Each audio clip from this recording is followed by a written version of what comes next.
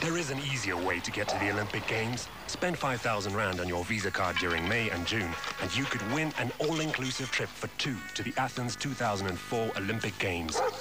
Visa takes you places.